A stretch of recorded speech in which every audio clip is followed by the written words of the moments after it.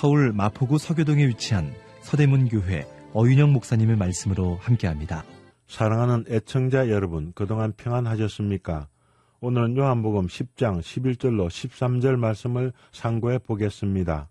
나는 선한 목자라 선한 목자는 양들을 위하여 목숨을 버리거니와 싹구는 목자도 아니요 양도 재앙이 아니라 이리가 오는 것을 보면 양을 버리고 달아나나니 이리가 양을 넉탈하고 또 해치느니라 달아나는 것은 저가 싹군인 까닭에 양을 돌아보지 아니함이나 오늘은 나는 선한 목자라 이런 제목으로 은혜를 나누겠습니다.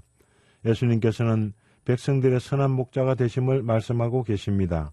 선한 목자는 양들을 위해 목숨을 버립니다. 세상에는 선한 목자를 죽이는 악한 목자가 있음을 말씀하고 있습니다. 양은 목자의 보호와 세심한 돌봄이 필요합니다. 필립 켈러라는 목자는 한 목자가 10편 23편을 보다 라는 책을 썼습니다. 그는 동아프리카 선교사의 아들로서 아프리카의 목자들의 틈에서 자랐습니다. 그리고 그는 카나다에서 8년 동안 양떼의 목자가 되어서 양들을 치며 경험한 많은 것들로 10편 23편을 강해합니다. 그는 양들의 생태와 심리에 대해서 말합니다.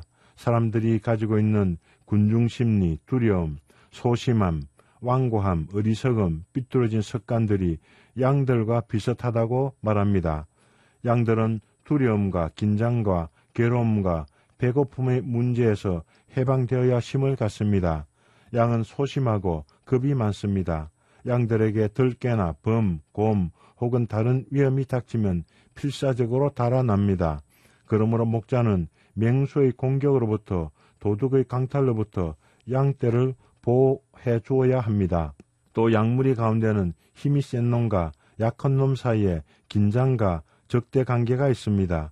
힘세고 교활한 늙은 양들은 힘없고 약한 양들을 괴롭히고 쫓아냅니다.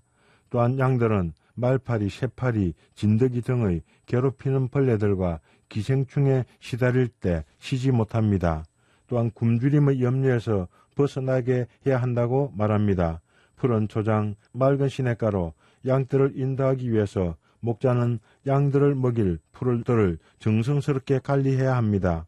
그는 양떼의 목자로서 여호와 하나님의 양으로서 목자와 양의 사랑의 관계성을 아름답게 표현합니다. 그는 양과 인간의 행동은 여러 가지 면에서 비슷한 점이 있다고 합니다. 선한 목자는 양떼의 형편을 부지런히 살펴서 평온하고 안정된 가운데 배불리 먹고 마시며 쉬게 하는 사람입니다. 목자는 양떼를 푸른 조장, 맑은 시냇가로 인도할 뿐 아니라 도적과 맹수, 해충의 공격으로부터 지켜줍니다. 목자는 가시나 은근키에 걸리게 되거나 뒤집어진 양이 있는지, 나구된 양이 있는지, 아픈 양이 있는지, 소외된 양이 있는지 보살펴 줍니다. 창세기 31장 39절로 40절에 야곱은 처갓집에서 장인의 양떼를 치면서 목자의 위험과 고단한 삶을 장인 라반에게 항변하고 있습니다. 양들은 맹수에게 물려 찢기기도 하고 도둑을 맞기도 했습니다. 내가 이와 같이 낮에는 더위를 무릅쓰고 밤에는 추위를 당하여 눈 붙일 겨를도 없이 기내었나이다 라고 말합니다. 낮에는 양들을 풀이 많은 곳으로 맑은 샘물이 있는 곳으로 인도하고 낮이나 칠흑같이 어두운 밤에도 호시탐탐 노리는 맹수나 도둑의 침입을 위해 경계를 섭니다.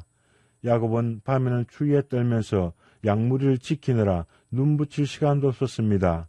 목자들은 한시도 양들의 보호와 안전을 지키기 위해서 자기의 시간을 가질 수 없었습니다. 이것이 양들을 먹이는 목자들의 사랑과 책임입니다. 마태복음 9장 36절에 말씀하십니다.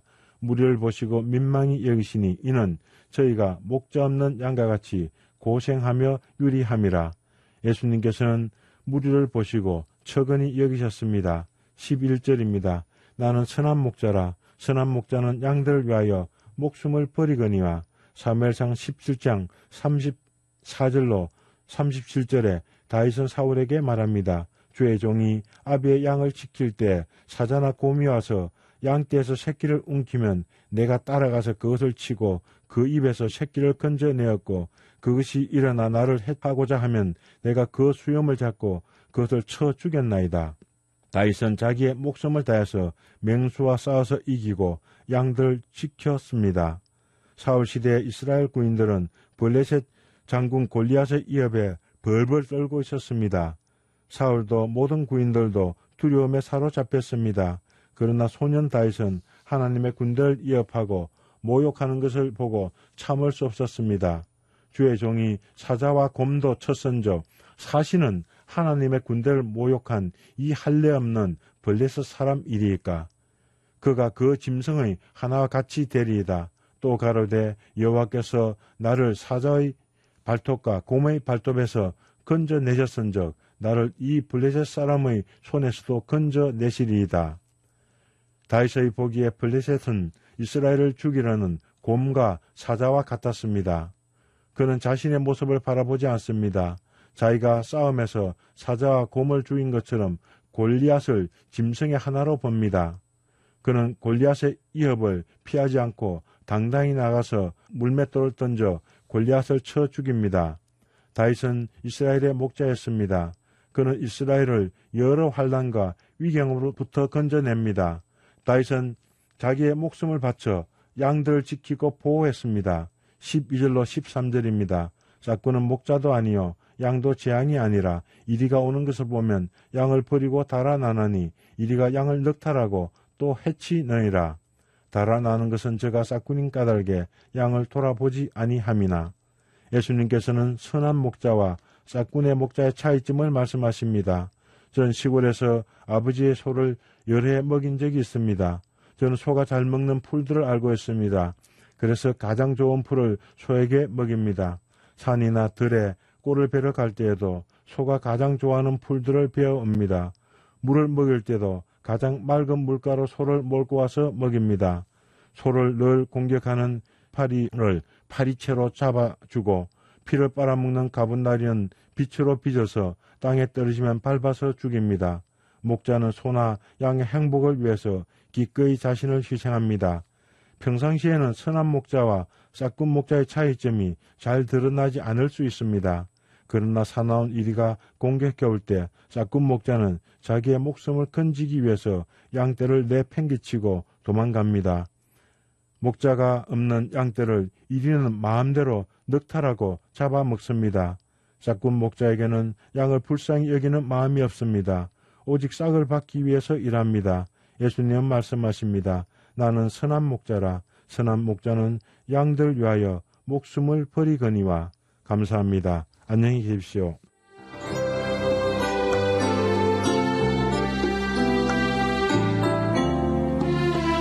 지금까지 서울 마포구 서교동에 위치한 서대문 교회 어윤영 목사님의 말씀으로 함께했습니다. 이 방송 들으시고 신앙생활에 도움받기 원하시는 분들은 서울 전화 02-3141-5853번 서대문 교회나 서울 전화 320-0553번 극동방송 양육국으로 문의하시기 바랍니다.